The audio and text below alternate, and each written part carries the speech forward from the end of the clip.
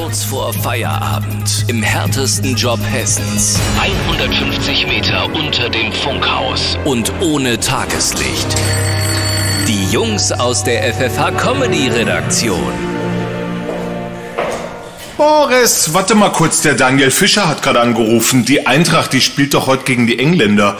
Dazu braucht er noch einen Gag. Ja, da kommt er wieder früh. Hab ich auch gesagt. Aber hey, pass mal auf, Dirk, ich glaube, ich habe sogar schon einen. Okay. Nochmal, für alle Eintracht-Fans, die zum Spiel heute in England sind.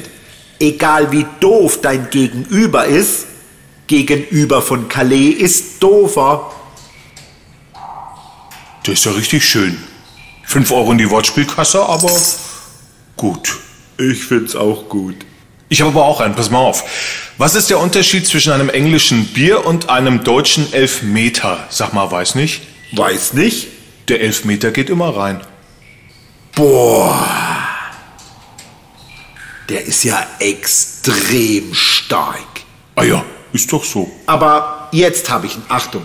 Tanz in den Mai ist zwar erst übermorgen, aber es wäre schön, wenn die Eintracht heute den männlichen Part übernimmt.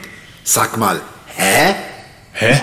Na, wäre doch prima, wenn die Eintracht führt. Alles klar. Ja, ja, ja. Nee, den finde ich Hammer. Langt auch, muss mich aufs Spiel vorbereiten. Ja gut, komm, mach mal Schluss mit lustig. Genau. Endlich Feierabend im härtesten Job Hessens. Der FFH Comedy Keller. Jeden Nachmittag bei Hitradio FFH. Jetzt als Podcast abonnieren. Bei uns im Web und in der App.